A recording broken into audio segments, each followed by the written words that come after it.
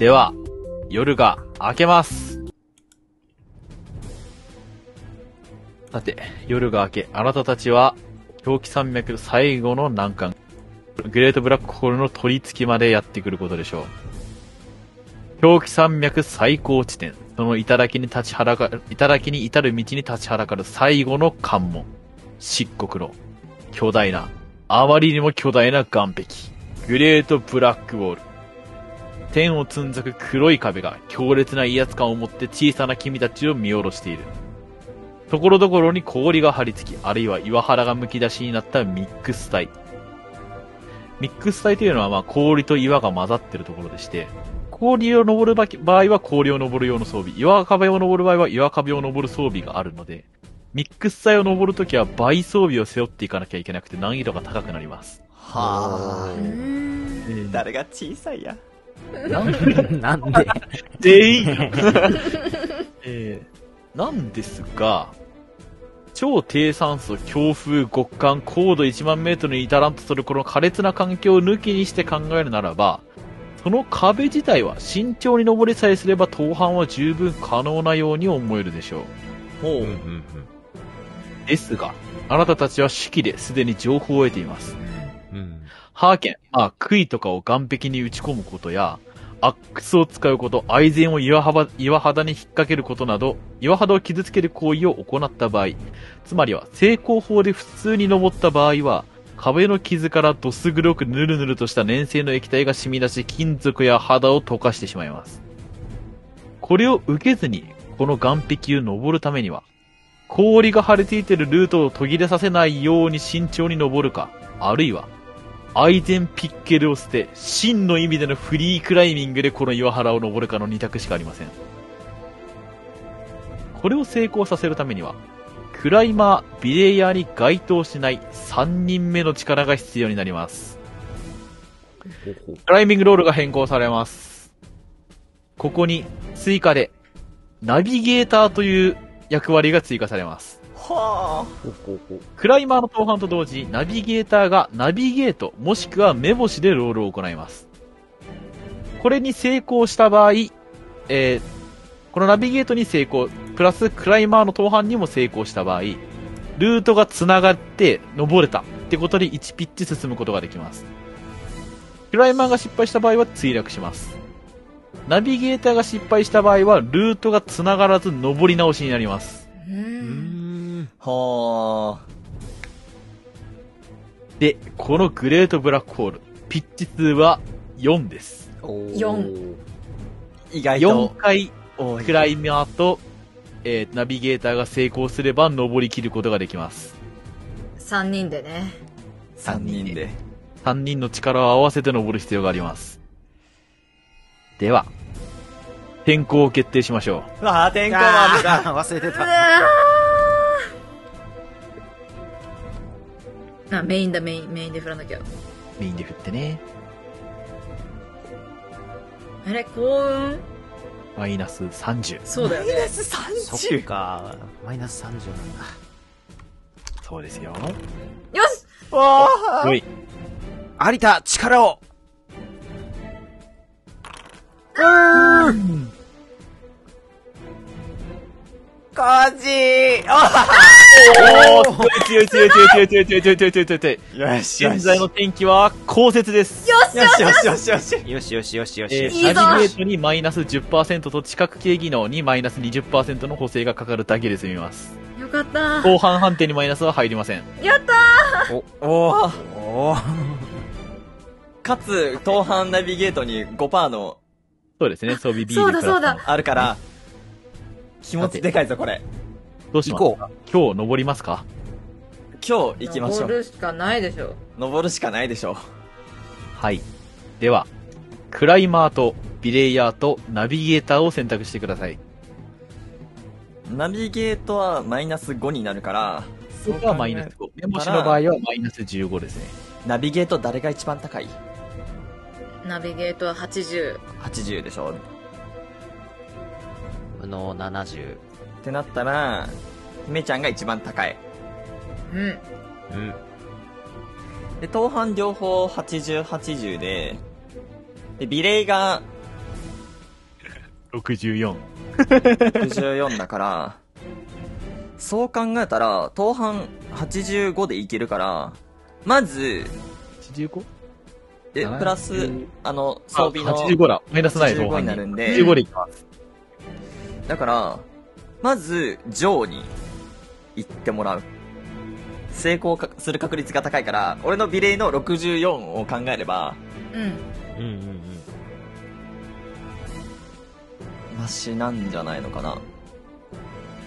まあ、と、あ、でもそうか、それだったら俺が登っていいのか。東半85になっビレて、85あるから。85あるから、よろしい？行きます。登ります、僕が。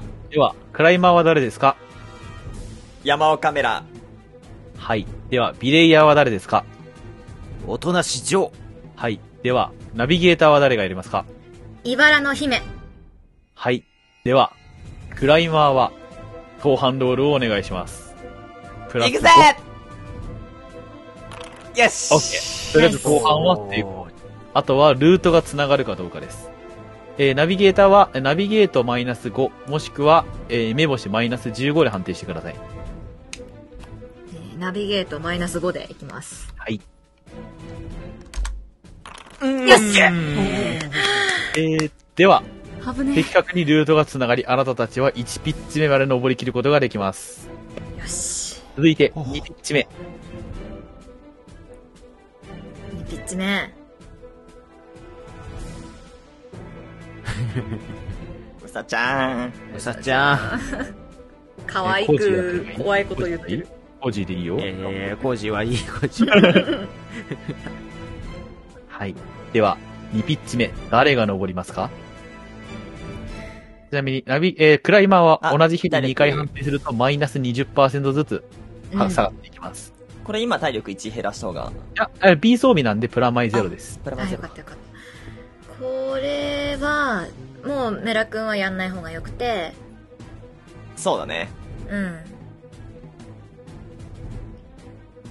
ナビゲート一応ろ71になるけど、マイナス5で。当半しようかな。だったらビレイしてもらった方がいいんじゃないかな。あ、そう？ビレイ多分2番目に高くて、で、東半80あるのが、ジョーだ、ジョーさんだから、あ、そっかそっか。うん。じゃあ、でいい私が、ビレイ？うん。オッケはい。これグランドフォールした場合は 8D6 のダメージです。ー。8D6。あー失敗したくないなー当半。さあ、決まりました？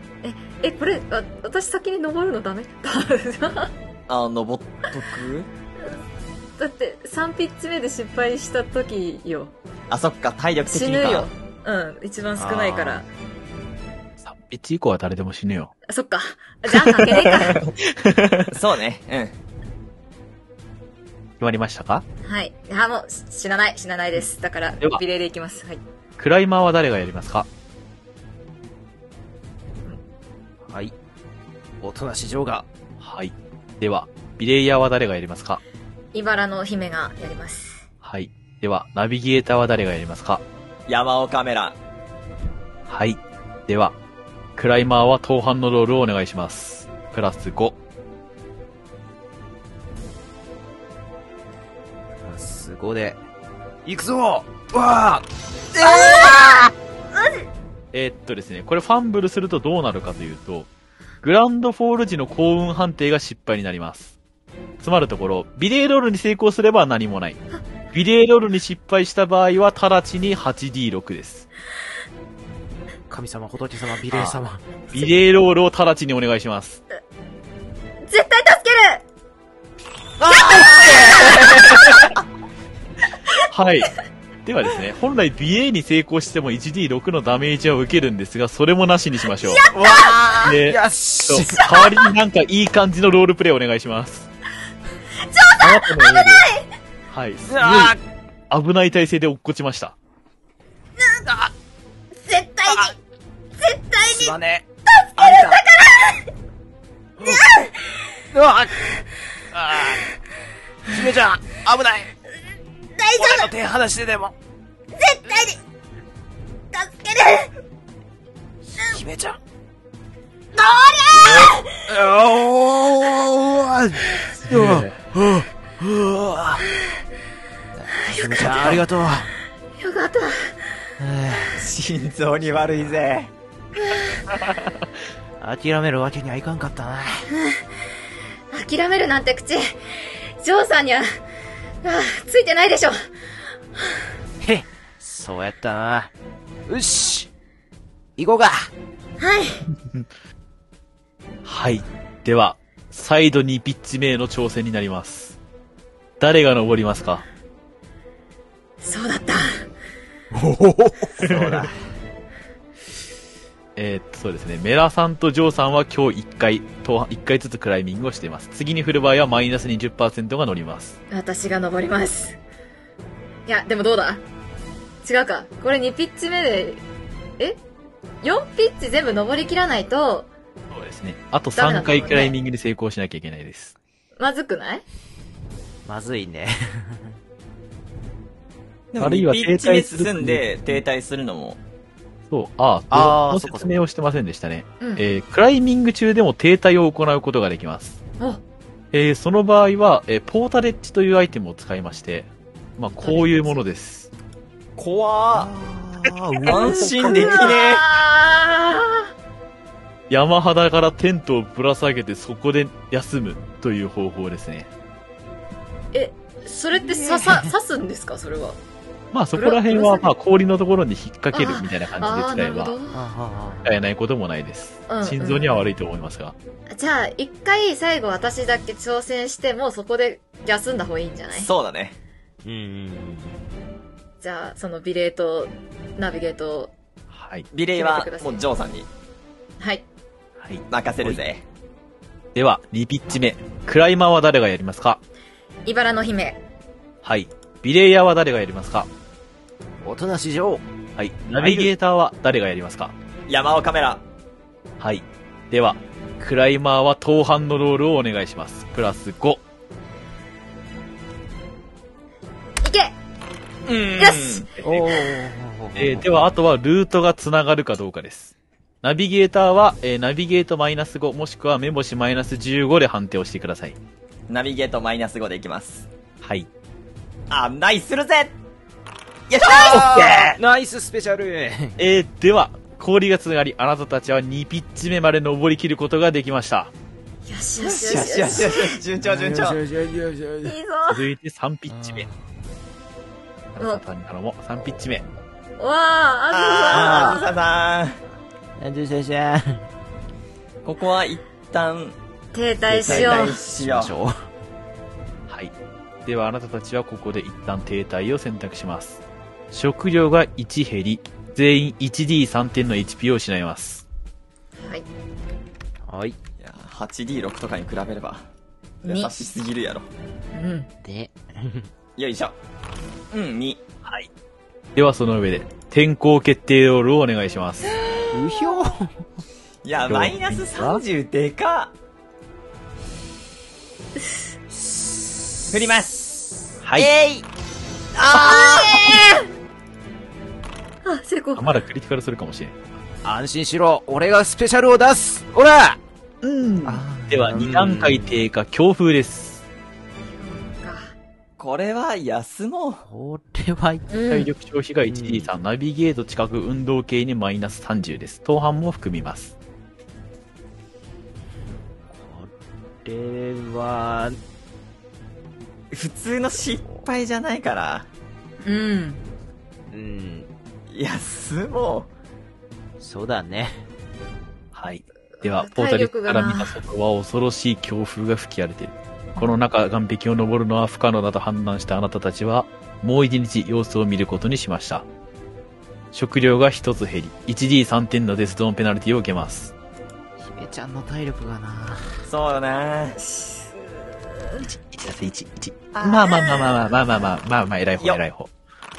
あの人3体力減らねなんでおとなしい1ばっかなんやん。お前ちゃうね分けてね。1の数分にはいいでしょ。うでは、今日の天気を決めましょ天気次第、これは。よしいいなぁ。お願い。あー、ごめんなさい。決め、決めるんだから。え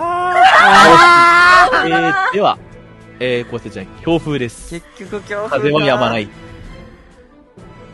いや、停滞できないくない？どうだ？どうする？マイナス25でしょ。マイナス20。当半、ナビゲート、後半もナビゲートもマイナス25です。25だから。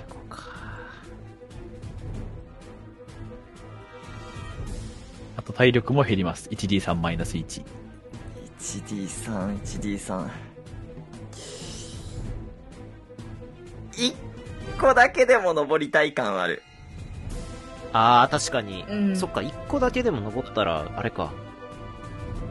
最悪。そそうしない？う一個登ろうん一。個登って考え。他のメンバーは、どうだろう？応急処置とか？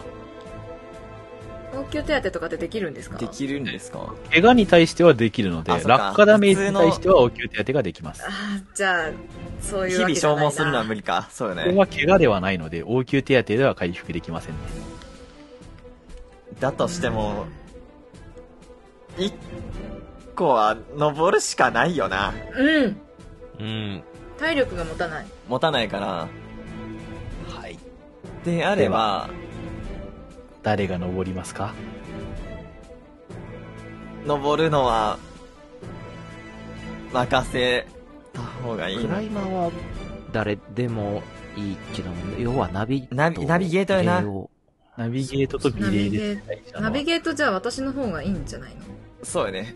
うん。お俺が登るわ。うん。オッケー。かっこいいぞリ。レーは、任せろ俺。が登る。はい。では、3ピッチ目。クライマーは誰ですか？山尾カメラ。はい。ウィレイヤーは誰ですか？おとなし城。はい。ナビゲーターは誰ですか？茨の姫。はい。では、クライマーは当半ロールをマイナス25%でロールしてください。俺なら、できるいけあえー、では、強風に煽られ、上を登っていた山岡メラが、その岸壁から手が剥がれて墜落する。ーリレイヤビレイヤーは直ちにビレイロールを行ってください。これにはマイナス補正は何も乗りません。待ってろ坊主えーでは、ダメージは 1D6 で済みます。えー、その前に、跳躍のは、あまずダメージ出しましょうか。1D6 振ってください。ーはい。うん。1D6。よいしょ。5! えー、その上で跳躍の判定を行ってください。成功するとダメージを 1D6 点減らせます。えー、跳躍、跳躍。いけうんお、成功したえー、では、追加で 1D6 を振ってください。その分ダメージが減ります。1D6 受け身を取れたってことですね。これで6とか出せばもうチャラだから5とか6を出せばノーダメージです。頼むいけ出ろよーしチャラいや、だノーダメ チャラだよしよしよしよしよし。完璧な受け身を取れましたね。ダメージはありません。!5 点着地よかった。はぁ、はぁ、ヒヤヒヤする。メラくん大丈夫？習ってよかった、5大丈夫か点着地。いや、小さくてよかったわ。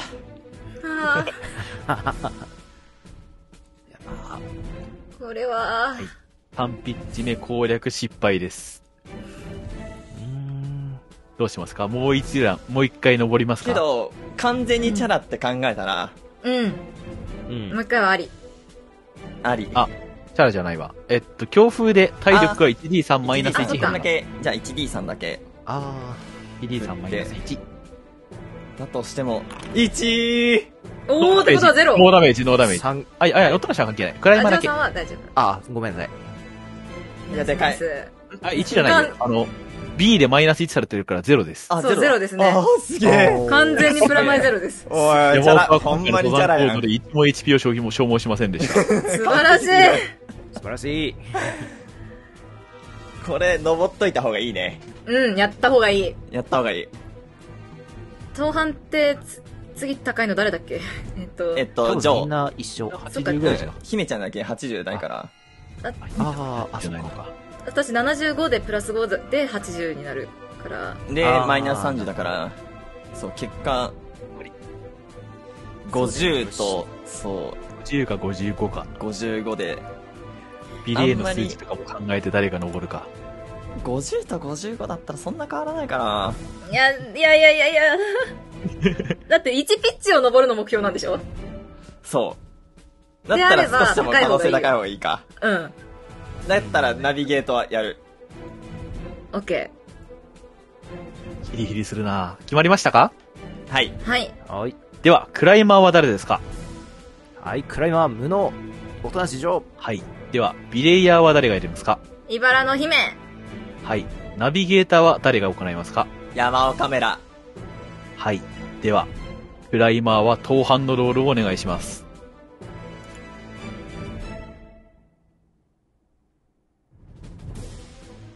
任せろ、登ってやるぜ。うわーナイスナイスナイスお？マイナス25されてないっすね、これ。あー、判定になってないんだ。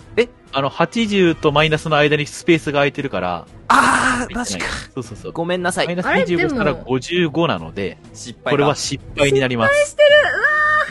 やばいビレー、えー、では。ビレイヤーは直ちにビレイロールをお願いします。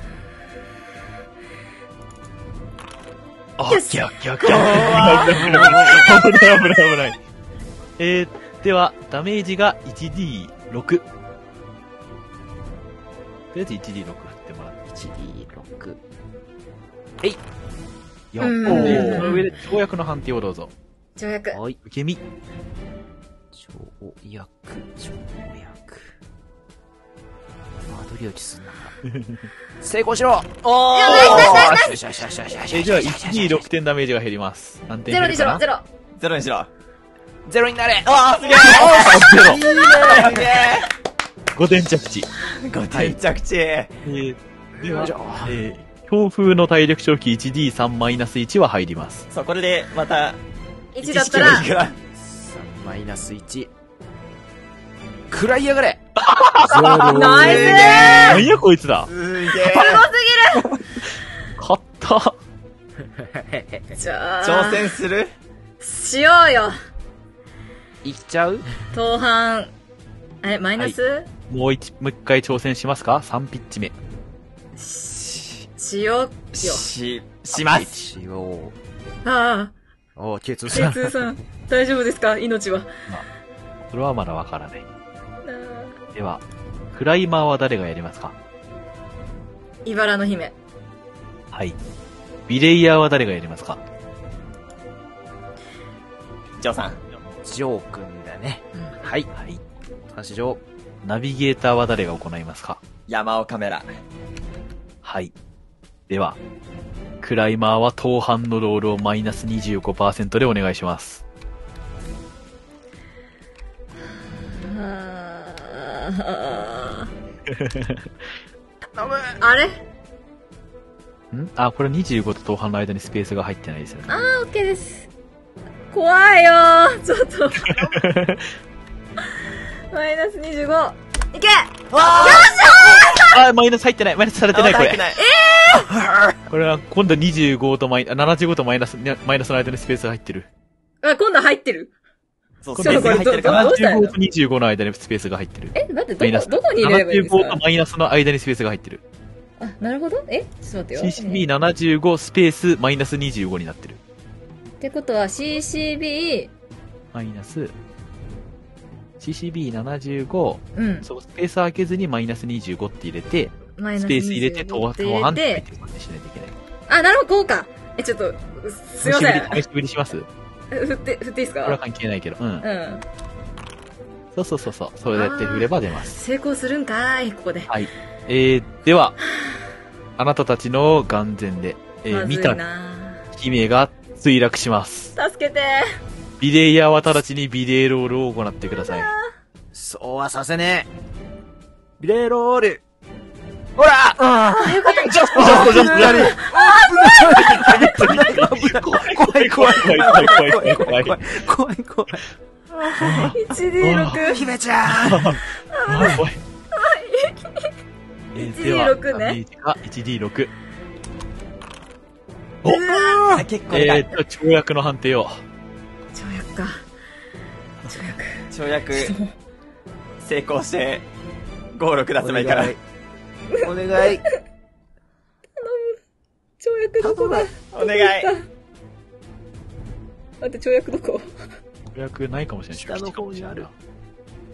マジ。待って、跳躍見つけられない。えあった。おー。ー、持ってる。偉い えー、では成功しました。ダメージが 1D6 点軽減されます。何点かな？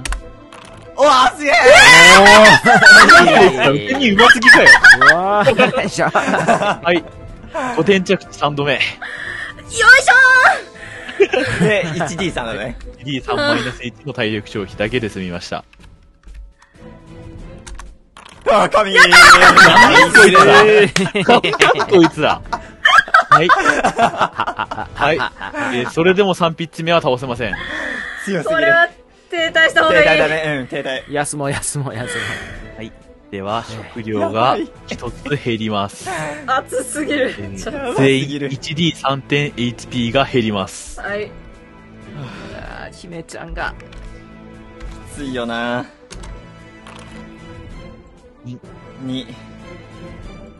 1。ね偉いね。待って、どこだ？えーっそうと、頼むぞ。1出せ、1。1出せ、1。1だぞ。分かってるな。1だぞ。1。まあまあまあまあまあまあまあまあまあまあまあまあまあまあまあまあまあまあ。すげえ。では、頑張ってるさ。今日の天候を決めましょ天候。強風で、ここまで持ちこたえたんやばすぎやろ。う。うん。やばいね。3回落ちてるから。よしいけああ、そうだよな。まあまあまあ。大丈夫フォローするまあダメでしはい、えたー、強風。きついな風が鳴りや、風が一向に止みません。ここに来てクソ。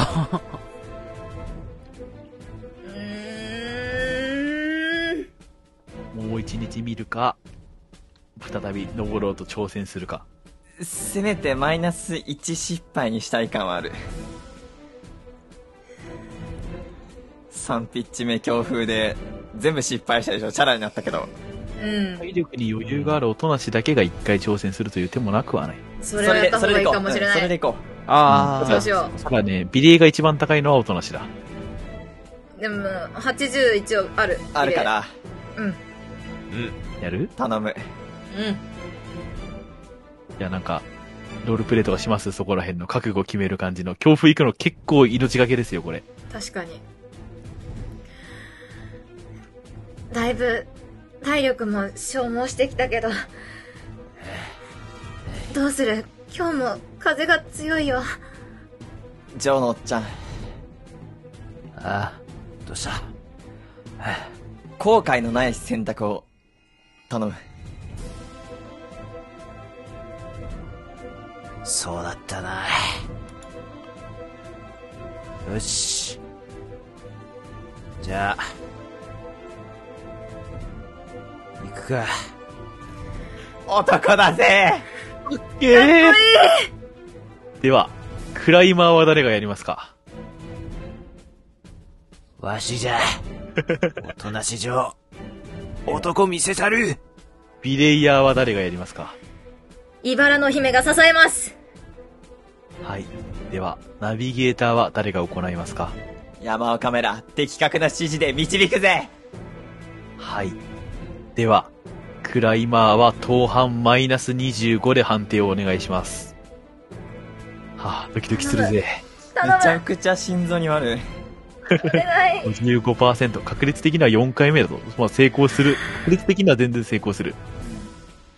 頼む。わしに力を。うわ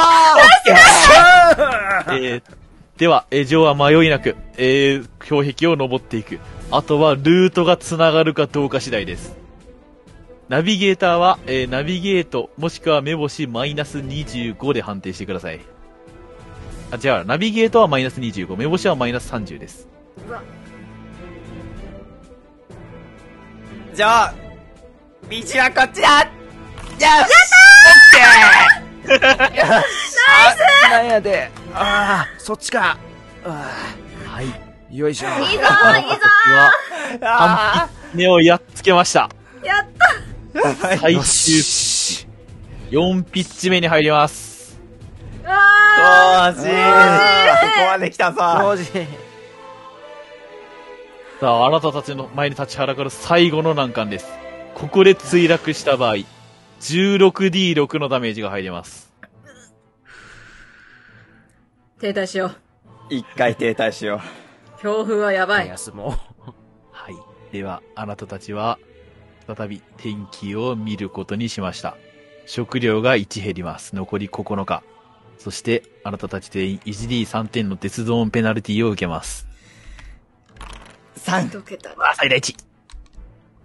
1! おー、最小値。おーし。最小値。あ、忘れてた。あの、ごめんなさい。昨日のあれで、あの、おとなしさん、1D3 マイナス1の体力そうだそうだ消費です。本当だ、忘れてた。忘れてました。すいません。えい。うんうんうん1ゼロだね。あ、そっか。ゼロか。はい。体力消費なさすぎるでしょ、この人たち。いやー、でも、ついに2桁に。はい。残るは残り1ピッチのみです。では、あ天候を決定しましょ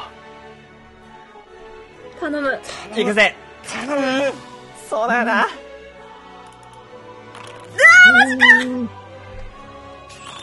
えー、っと、2失敗から2成功になって1失敗になり降雪です。すごい来た風が止みました。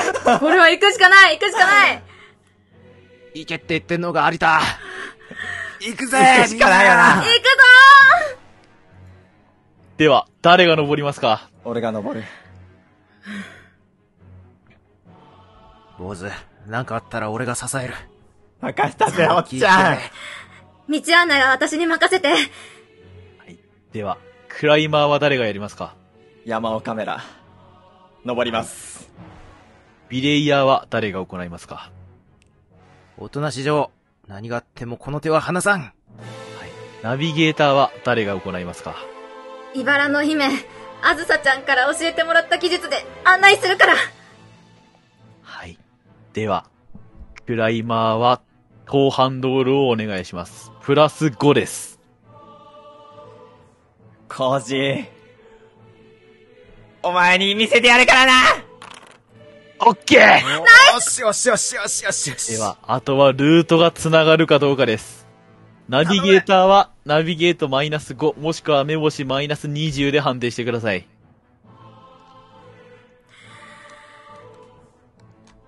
行け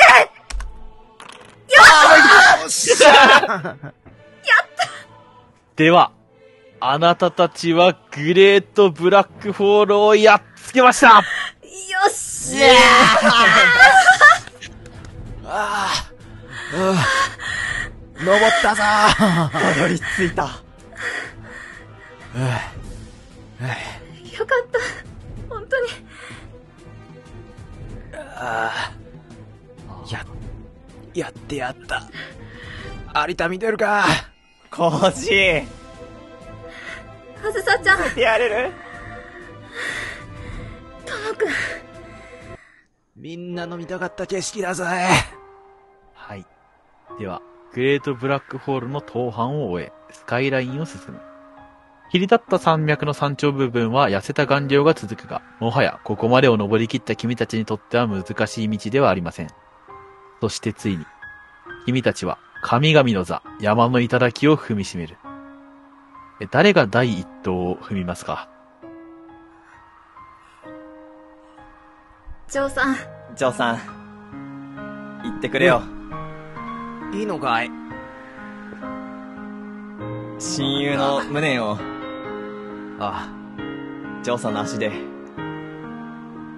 いや、だが、本当にいいのかい？お前たち、いいんですよ。それぞれ。私は、第一党を踏みに来たわけじゃないので、俺も、同じやな。だからこの第一党は、ジョーさんが一番ふさわしいと思う。うん。そう思う。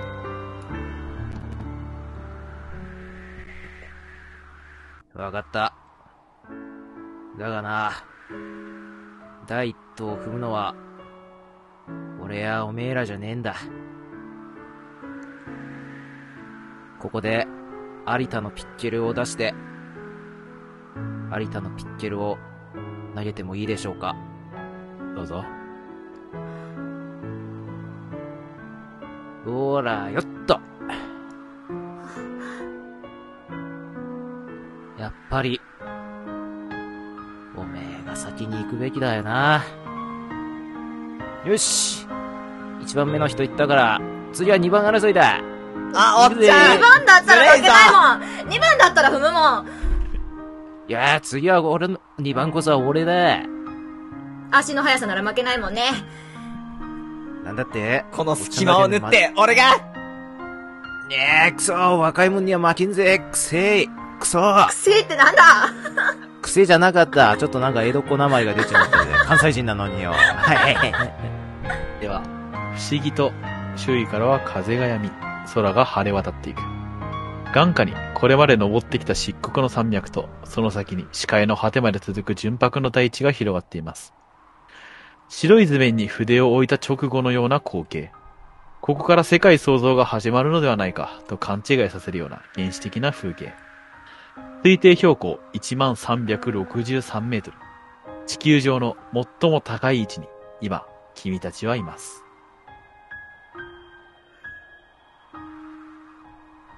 とうとう、一番高えとこまで来ちまったんだな。狂気山脈を、クリアしたって、ことなんよな。ともくん、やったよ。私、そうですね。では、姫は、幸運判定を行いましょうか。うわマイナス30。それは、まあ、それは天候決定のマイナスだけなんで。天候決定じゃない、ただの幸運判定です。だから85ですね。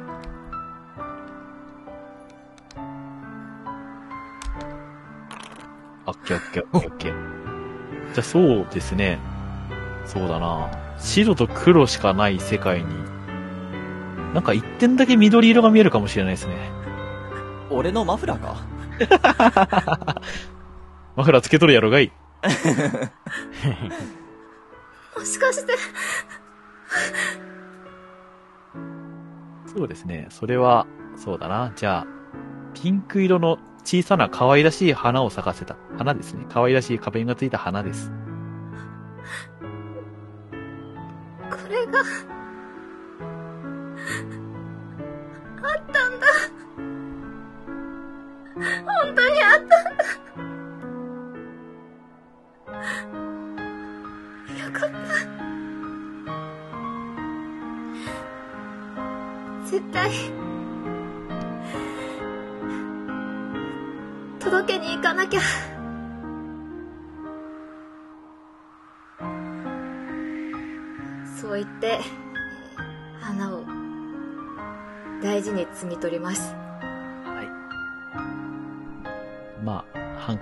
ンカチか何かにくるんで、うんカバンに縛っておく感じですかね。はい。うん。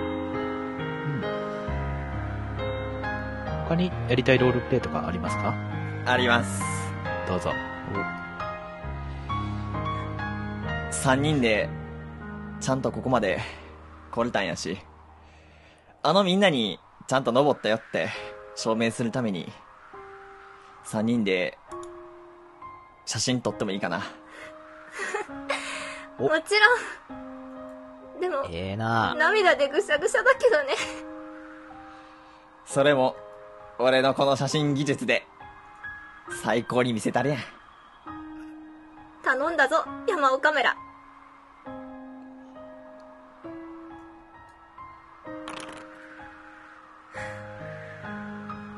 どんな感じの写真が撮れました？最高の笑顔や。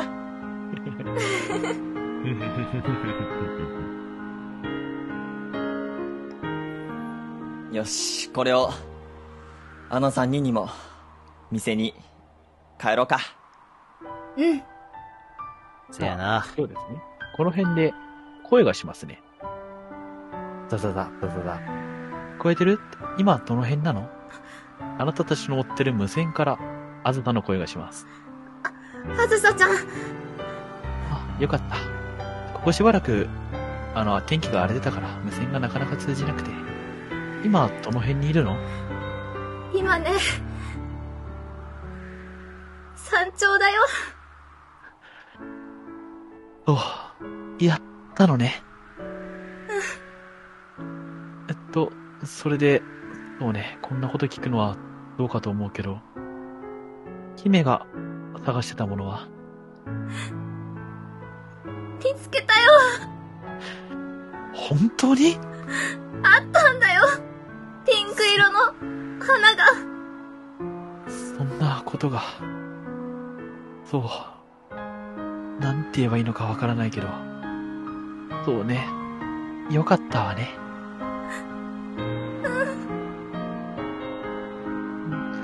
あ、ケツとコージもこの場にいるの。変わるわね。で、まあそうだな。K2 のあたりの声がしますかね。やったんだな、お前たち。あ、あ、ケイツーさん。K2。ああ、本当にやり遂げたんだ。すごいよ、君たちは。は は君たちこそが世界最高の登山家だ。何言ってるんですか俺たち、6人だよ。うん。みんながいなかったら、絶対、無理だった。そうだな。僕たちは最高の登山隊だ。おう。聞こえてるか？コージー。超えてるよ。ちゃんと登り切ったからな。まったく、行かれてやがんぜ。でも、最高にかっけえよ。それも、お前がここまで一緒に登ってくれたからだよ。そんなおためごかしは必要ねえんだ。次は俺が登ってみせるさ。なんだと？また7000メートルでおじけづくんじゃねえぞ。うるせえ、うるせえ、うるせえ。お前が登れたんだ、俺が登れねえ道理はねえだろ。お前には無理だね。バッカお前やってみても、やってみる前に文句言うんじゃありません。俺、次はこ、次こそ俺が登ります。じゃあその背中を、俺がしっかり捉えてやるからな。そのためにも、ちゃんと生きて降りてこいよ。わかったよ。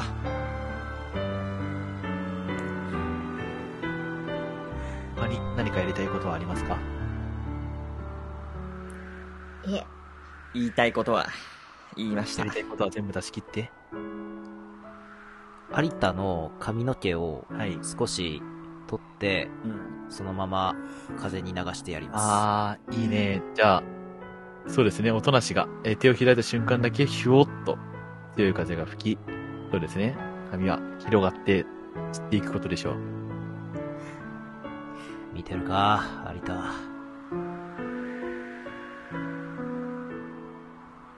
ジョーさん。ん？もし、ここに有田さんが登れたら、第一声は何だったと思う、そうだな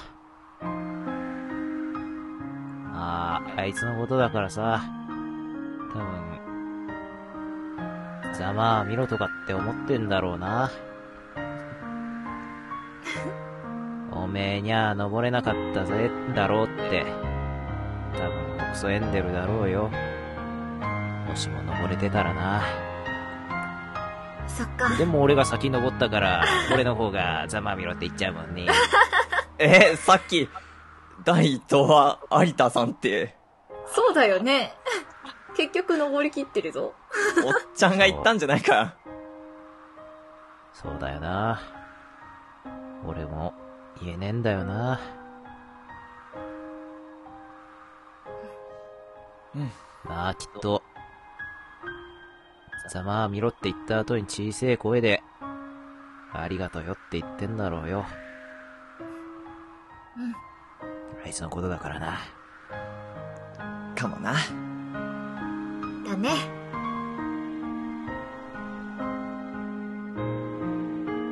こんな話他にすんじゃないよ。えどうしここだけのようかな。話な。言っちゃおうえかな。ちょっ。と。いや、ちょ、いや、もう、ちょ、恥ずかしいからやめて。わかりましたよ。そうよ。そうやで。まあ俺はちょっと難しいかもな。まあここ登ったってことは、みんなに伝えたいし。うん。はあはあはあ。なるほど。三人もいらんかな。え？カメラだけいただいていく？え、お、おっちゃんも姫ちゃんまで。そんな堪忍な。嘘嘘。はい。では、あなたたちは一通り登頂の喜びを分かち合い、えー、そろそろ、では下山に入ろうかといった。その時、ふらりと足元が揺れます。ギシギシと音を立てて山が明動する。気づけば辺りにガスが充満してきている。何かがおかしい。早く下山した方がいいかもしれません。お願いします。な、なんや、これ。じ、地震ってわけでも、ない？なんか、えらいことになりそうやな。早く山降りた方がええかもしれん。うん。なんか嫌な感するな。急ごう。はい。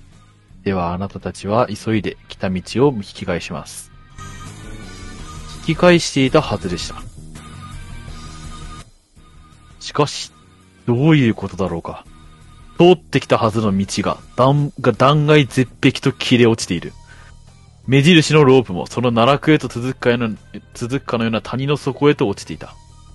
明らかに来た時と山頂の様相が変わっている。まさか山の形が変わったとでも言うのだろうか。みるみるうちにガスも立ち込め、風が強まり、あっという間に吹雪の様子を呈してきた。近くから雷鳴も聞こえてくる。全員聞き耳でロールしてください。の、山の天気は変わりやすいでも、変わりすぎやろなんなんやこれ。何も聞こえへん。う、えい、えー、じゃあ、悲鳴は聞こえますね。遠くの方で、おーと、うめき声のような声が聞こえる。風の音だろうかいや、そうは思えない。何か生き物。それもかなり巨大な生き物の声だ。この山の山頂には何がいるのか。吹雪がどんどん強まっていく。さて、えー、では、ここからイベントの説明を行います。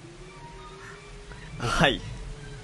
えー、ここから先、この説明が終わったら、リアル時間で10分経つたびに体力抵抗判定が発生していきます。何？何？えなんやって？ー、このこの発生は、コンかけ5、コンかけ4、コンかけ3という風に発生するごとにどんどん抵抗が難しくなっていき、失敗するたびに 1D3 ずつ HP が減少していきます。こえー、あなたはたちは、コン耐久力ですね。やばい。えーあなたたちは、えーこの山頂を調べることができます。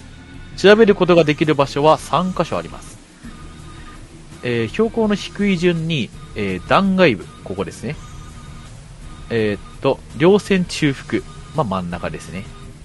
えーと、山頂部の3カ所を調査することができます。えーそれぞれ調査すれば何かが見つかるかもしれません。では、これより10分間の計測を始めます。どうぞ。何が起きてるんや？わからん。とりあえず、3箇所それぞれ調べてみるか。冷静に、冷静に、探そう。そうやな。そうやな。現在地は断崖部です。え、これは一人一人は難しい。い全員でまあ一箇所ずつバラバラでもいいですけど、あ全員でもいいです。どうせ描写の時間はリアルタイムで測るので、確かに。じゃあ、調べる場合はここを調べますと言ってくれれば、そこの情報をとりあえず出します。山奥カメラ、山頂部調べます。手札史上、両戦中腹を調べます。まあ、一個ずつと処理していくんですけど、一そうですね。はい。人ずつ行きます？一緒に行っても、一人ずつ行っても、描写の時間は変わらないんですけど、じゃあ一緒にやろう。行きましょう。あうん。どこ行きます？じゃあ先に山頂部からやろう。はい。あ。うんでは、あなたたち3人は山頂部へと向かいます。えー山頂まで引き返してみても、ガスのせいで視界が悪く、一見何も見つかりません。えー目星の判定をどうぞ。うわ。見えない。てやよし。はい。では、目星に成功した2人は続いて幸運の判定をどうぞ。これマイナス30は消しても。いない、いない。それは天候決定の時だけです。ございます。頼むあよしまたあれだった。うん。うん。まあ、メラさんが成功したんで、わかりますねあ。えなぜ見落としていたのでしょうか？登ってきた道から山頂を挟んで反対側。えガスの切れ間の崖下に不気味なものが視界に映ります。それは幾何学法則を不気味に歪ませた石造物の群れ。その中心にご、えー互角の星型を積み上げたようなテーブル状の構造物。明らかに自然にできたものではない。何らかの意図を持ってそこに建築されたものだ。この死と静寂の世界である南極のさらにデスゾーンになぜこんなものがあるのか。えーメラさんは3チェックが入ります。はあ。サンチ、チェックだぜうん。では、1D4.3 値が減少します。1D4 で1を引けば、変わらない3。はい。えー、ではですね、えー、あたりにはガスが立ち込めている。えーその中であの遺跡に向かおうと思った場合は、えー、ナビゲートマイナス30%のロールに成功する必要があります。えー、またこの判定をするごとに時間が10分経過したものとして扱い体力抵抗判定を発生します。なぬ。とりあえず、行く場合はそんな感じでは、あ、一枚行き帰りで両方かかります。ということを伝えておきます。うわまあ、行くか行かないかは任せます。ーうわー一旦他調べるか。うん、一旦まず調べようか。そうね。どの道時間かかるし。はい。ではどこに行きますか？じゃあ、中腹。中空かな？ちゃう？はい。では、えー山頂から、えー再び断崖部へと少し引き返したところに、目星。はい。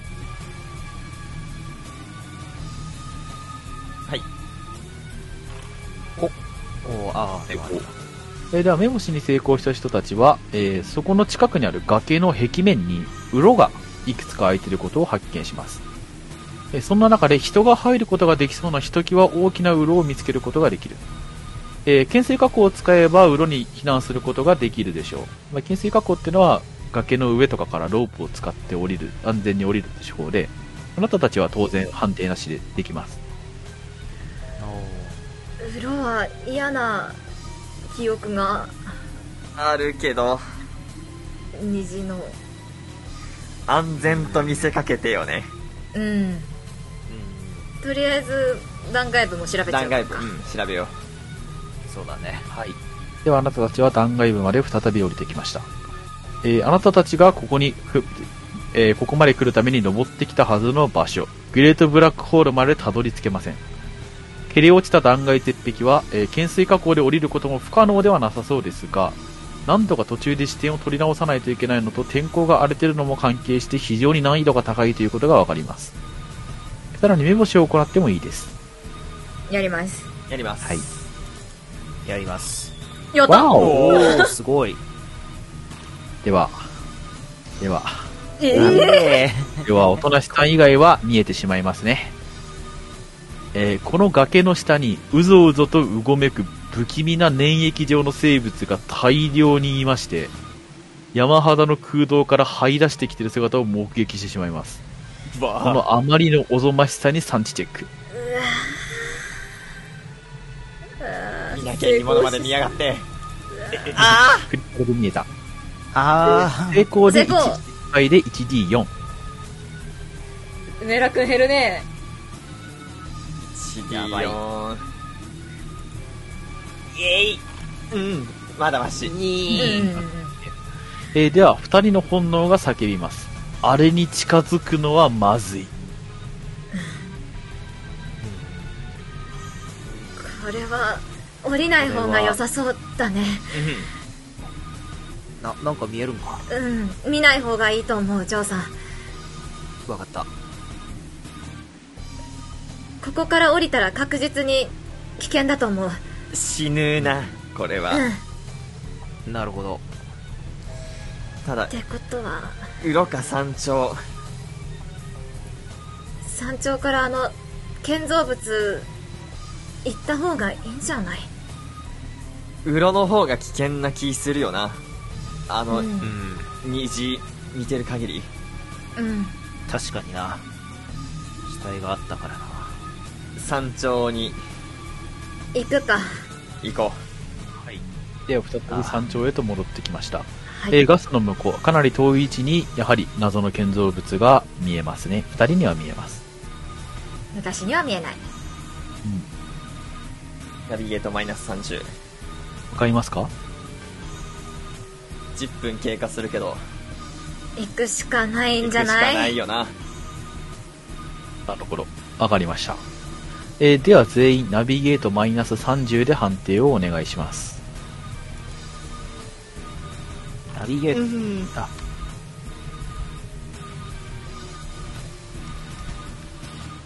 ナビゲート。えータイマーは停止します。これはもう合成であ入るんでガスダメージ。まずいか？いや、おじさんが、君たちを導く。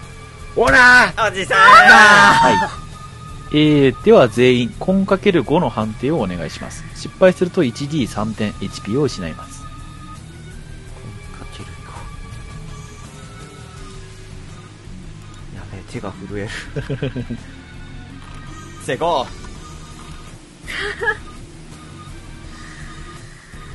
いやー成功。まずいな、はいでは、失敗した姫は 1D3、えー3点の HP を喪失します。わーはい。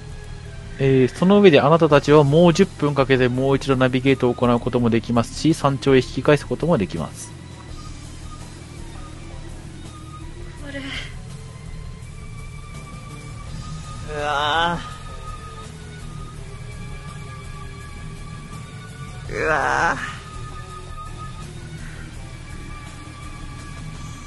うしますか？行った方がいい気がするけども、今さら引き返せないよねー引き返せないよな。いや別に引き返す分には体力消費発生しませんよい。やー引き返してもなんもないうろううろろに行くか、うろに行くかしかないよね、もうろには行きたくない進もう。そうやで、ここでじっとしてても結局死ぬ。うん一応あの見た感じ、うろの中にはガスは入ってきてなさそうな感じはありましたよ。本当ですか？それ避難できそうな感じのうろだったんで。安全なんですか？安全かどうかはわからないけど、少なくともガスは入ってきてなさそう。うん。